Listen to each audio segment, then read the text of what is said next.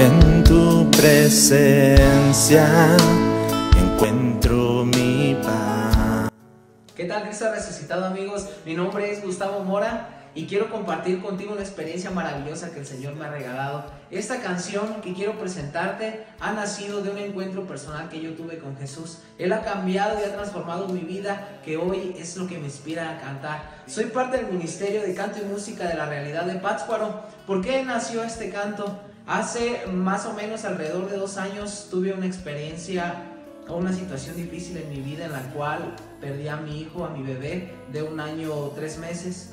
Este fue un momento de duelo el cual fue un golpe al corazón y fatal para mi vida donde no tenía sentido porque perder un hijo es algo inexplicable, algo que no se le desea a nadie y pues algo que te destroza el alma.